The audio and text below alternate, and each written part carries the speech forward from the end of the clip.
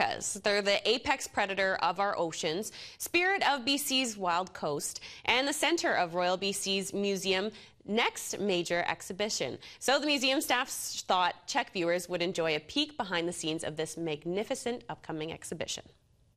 So this is a little model of one of the full-size replicas that we will have in the exhibit. Welcome to the Exhibitions Department of the Royal BC Museum. We are responsible for building and maintaining all of the exhibit spaces here at the museum. Right now, the team is hard at work creating the museum's next major exhibition, Orcas, Our Shared Future. So there will be a really huge scale mural of an orca underwater and then this sort of fabric doing an ocean surface. The exhibition will be visually stunning, but it must be durable too. We're building it to travel, hopefully, sort of between five and 10 years once it's finished its run here next year. One of the interactives that we're building is a comparison between a human brain and an orca brain. So we used our 3D printer to print this brain, and it took 50 hours to print this. So now we have a rubber brain that feels like a brain. It's, this is also made of silicone.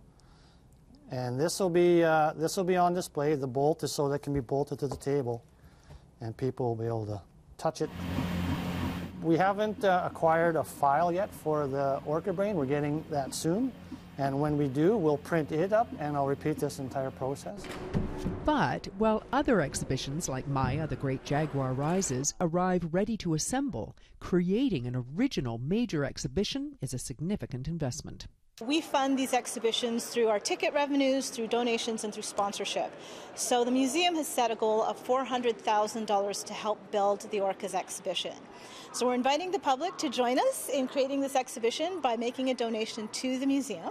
For us to be able to build this here with our collection and then potentially travel it around the world at a time when people are very much interested in the stories of orcas uh, in captivity, but also as a species. Um, with their plight right now. Um, it's um, just such a great opportunity. Orcas Our Shared Future opens May 15th, 2020.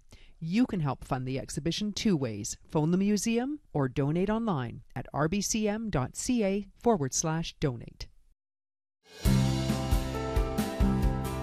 This Week in History, brought to you by the Royal BC Museum, bringing British Columbia's stories together.